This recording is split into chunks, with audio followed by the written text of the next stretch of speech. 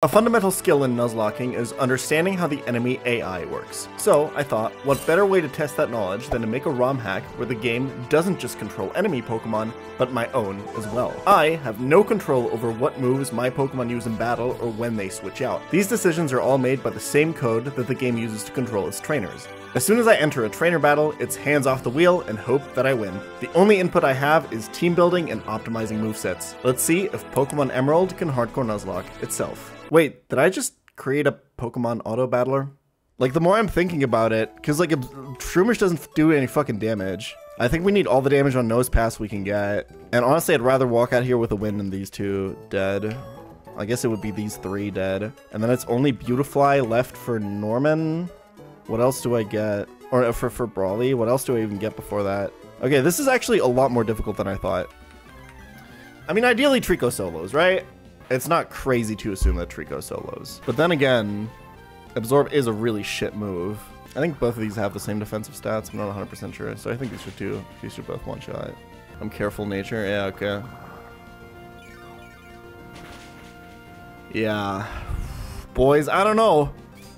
All right. I mean, if if she does that, we're pretty we're pretty golden. But I don't remember if that's potion range or not. That's rock tomb number one. That's really bad. But that is Overgrow. Um, not after Oranberry, though. We live another Rock Tomb. We'll see if we're still faster. It feels so bad that I have no... Ah, okay, yeah, that's... That's... That's not... That's... Oh, that's... That's not... That's... I... I... That's not good at all. Um... Yeah, like I said, it would go Wingull here. This is also gonna die, I think. I'll, I'll take it. You know what? Give a subversive nickname to my Makuhita with 10 letters or less. How about Knuckle Spy? you know what? It's time for ads. And if you want to pick up something practical for your next journey, consider the sponsor of this video, Manscaped, with my favorite product of theirs, the Handyman. Listen, I've been working with Manscaped for a long time now. They've sent me a lot of products that were great, but this is by far my favorite. I've been traveling a ton this year for events, for vacations, for work, for lots of stuff, and staying well groomed and well shaven on those travels, it can be a hassle bringing an entire razor kit, bringing your shaving cream, or bringing a whole ass, uh, uh bringing a huge razor. It's it's this is what this is for. The handyman. Very simple, very clean shave, very easy. Get rid of that three day beard you acquired on one day on the airplane because somehow airplanes make you age five days and I don't know where I'm going with this. It's such an easy thing to just throw into your backpack and just leave it there forever. A lot of the hygiene electronics, for some reason, don't charge with USB-C, like an electric toothbrush or a lot of razor stuff have like a weird, so you have to bring a whole extra cable in, it's a whole thing. No, you just pop this in, you have 16 USB-C cables laying around in your closet right now. You just pop that in, it's so easy. It's got skin safe technology. It's waterproof. It's really nice. It's really easy. And it's just such a simple thing. Consider it as a gift for the holidays or buy it when you're going away for the holidays and traveling. If you go to manscaped.com slash Pokemon challenges, the link is down in the description or in the comments. Uh, you get 20% off of any Manscaped product. Go check them out. Thank you to Manscaped for sponsoring this video. Let's get back into it. All right, hands off the keyboard. The legitimate controller, I mean. Yeah, I mean, i I think he basically only has fighting type moves. So I legitimately think Beautifly might just solo here. Okay, it's just Poison Sting for no reason. Nice. Oh, because it, yeah, yeah, it saw a kill with Poison Sting off of the, off of the low HP there, which is bad. Because if that would have poisoned, he would have given him guts. Okay, I think, I think Beautifly just solos here. Okay, all good. All good, chat. All right, that is the only point where Beautifly is useful in this game, by the way. AI switches super rarely. It has to, like, there have to be like very, very specific conditions. Should have equipped Silk Scarf actually, there's no reason not to. Oh, it just switched. Okay, all right, I'll take it. Just as we're talking about it. But why? Loudred was faster, no? It, has been a while, but I feel like Switch AI only activates, I thought it only activates when you're slow, but it might, it might be different for rando trainers. Enemy was slower, and you had a mon that resisted bite. Oh, it's wait. Is it really if enemy is slower? Maybe I'm just thinking about the wrong way around because of um, because I'm used to be used to being on the opposite side. No, you're right. It is if enemy is No, it's if you're slower yourself, right? The last Victory Rate Road Trainer in my EK run switched. I was, it was Salamence versus Metagross. It might be if enemy is slower. If enemy, okay, if enemy is slower and you get hit with a move that you have a resistance or an immunity to, then AI has a chance to switch. I think that's how it works. Okay, that's actually better than I thought. It's a little bit more likely than I thought. Because I think usually we're going to have faster Mons. But I guess we're going to need it more against Mons that are faster against us, so... That is a Gulpin. Switch AI save me? Switch AI ain't gonna save me. I didn't realize this guy would have a Gulpin. I'm gonna lose Breloom here. Switch AI can only save me if he uses a poison move. Oh god. It's even got Liquid Ooze. I'm hard countered! Oh yeah, I I don't even have poison resists, I think. Switch AI can't activate here. I think he's dead. Yeah, we're fucked. Oh god damn it! What, why does he have a Gulpin, bro? Yeah, this is a wipe to Wattson, unfortunately. I don't really see how we can win. No, Wattson's first mon does boom in vanilla. That is correct. But it's I think this is the best shot we have at winning this. This shit's hard. I thought this would be easy, I'm not gonna lie. Okay. I think realistically this can win. I think. Also, this being out first and dying first prevents some Switch AI shenanigans. The AI Thunder Waving turn 1 for the speed control. Not bad at all. I think we lose if we don't get a full para. Okay, we'll take it. It's fine. Okay, do we win this 1v1? We have healing. That's lovely. Guess it doesn't super matter with quick attack. Dude, if this sets up like five howls and starts quick attacking my team, I'm actually fucked. Okay, Howl Leer into Shockwave. You love to see it. We're bulky. Okay. We That's fine. That's a good move. Well played. Better to Moonlight early when you're paralyzed. Come on. Just Moonlight again. Yep. He's doing it, baby! He's got it. I think he's got it. Moonlight here? Didn't Moonlight. Didn't see a kill. It sees a kill now. I think it'll quick attack. I think? Nope, it didn't. It did, but it got out quick attacked. Okay. This is fine. This is... Okay, it's dead now. Going one for one there? I'm okay with that. I'm okay with that. This is going to be Gyarados because it's got Rock Smash and it's weak to Shockwave. I, Gyarados might just die. Oh yeah, that's... Great move there, AI. Thank you for that. AI doesn't see a kill. It went Thunder Wave. Might be a roll though. Okay, one rock smash. I'll take it. I'll fucking take it. And we'll even get this. Okay, yeah, that's fine. I think he has more super potions. I think he's saving one for Manectric. I'm not sure. Okay, Loudred was above... I think that might have not been good, actually. Loudred should have been below Hariyama here. I didn't think about it also having Rock Smash. Unless it wins the 1v1 here, which would go crazy. Yeah, there's the other super potion. I think he might actually have one more. That was a mistake to put this above Hariyama, because I think Hariyama would have taken this out anyway, but... It's fine. This should be Hari now. I think this kills. It's like minus three. Alright, just one more. It's really good damage. Just two at KO. Unfortunate. I didn't fake out. Fake out would have gotten the kill. It's unfortunately quite a bit of damage. I think this kills. Alright! We're through. And that's a lot of deaths, but honestly, not the worst. Let's just go in. Ugh. Alright, one shot them Tentacool. You can do it, buddy. That's one. Does this kill? I think it should. Slugma is so frail. Fuck. Okay, at least she heals now, so we might be able to stall a few turns. Okay. Uh, that really needed a kill, man. Okay, that was last turn of Sun, but Light Screen's gonna be up for a while. Okay, this one have one shot anyway. But like, this Camerupt is kind of a fraud. Please choose Bubble Beam here. Don't constrict. Surely you only saw a kill with Bubble Beam. Okay, good. It's huge. Okay, no Master Balls, and we got no Sunny Day, no Light Screen going into Torkoal. That's pretty damn good. This is honestly fine.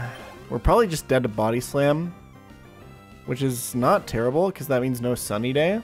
This is actually pretty damn good. It's so bulky, though. Alright, it's a 5v1. It's probably Sunny Day. Yeah. And now I don't think Water Gun kills. Maybe Shockwave? No way, right? It's a crit.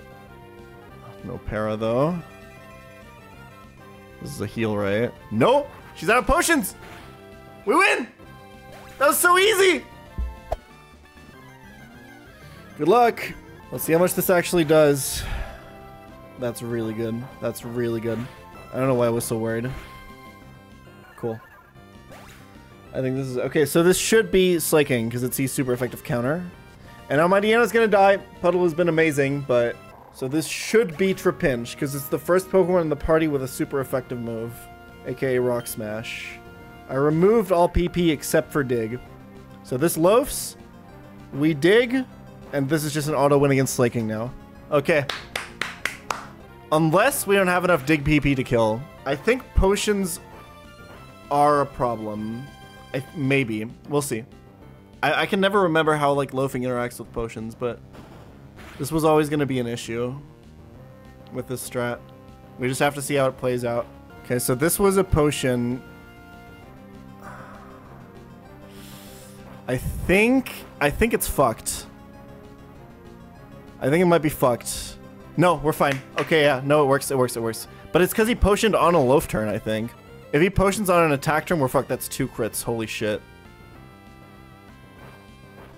He's actually doing it! Look at him go, my boy! Does he heal again? I don't think so. I think we win. Okay, Slaking is down! The only thing that can fuck us now is belly drum shenanigans. So Trapinch is gonna die here. Brave soldier. Let's see if Macho can do this. If not, Hariyama's in the back. That's a lot of damage. Nice. Let's not see any belly drum shenanigans. Because if it does, I think I lose everything except Graveler or maybe the whole run. Okay, that's potentially good because now we can't belly drum because he'll see a kill. Almost actually kills here. That's another potion. We have a chance to crit Karate Chop here, actually. He revenged. That's unfortunate. That's still almost gonna kill. Oh, dude, Machoke, you almost saved yourself, actually. That's crazy. GG. Holy fucking shit. Of course. I somehow managed to fight every single trainer on this route. Oh, that's not good. Oh, that's not that's not good at all.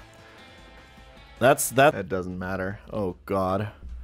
Dizzy dots. This thing was actually really useful for like random fights. Oh no. You can do it, Wob. Nope, that's not it. Counter? Let's fucking go. You need it. You need one more. You need one more. Nope. Come on. Nope. You just need one. You have like two more turns. No. You just need one, bro. I'm gonna lose my mind. Unreal. Unreal. I, I don't know what to say. I don't know what to say. If that was me fighting an enemy AI Wobbuffet, how many times do you think it clicks counter there, by the way?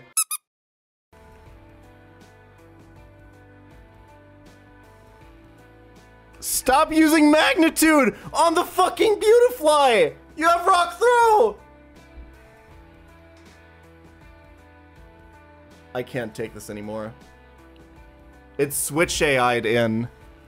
Only to fucking die. Please! I can't believe this. What a fucked up day. What a fucked up day.